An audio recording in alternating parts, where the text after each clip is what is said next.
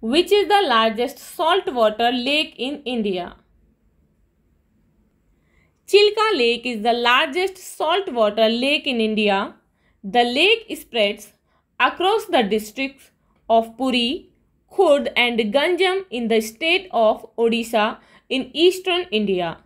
Some vital features of Chilka Lake are it is formed by 52 rivers and rivulets. The water spread area of Chilka varies between 900 to 1165 square kilometer during summers and monsoon respectively. It is connected to the Bay of Bengal by a 32 kilometer long and 1.5 kilometer wide channel.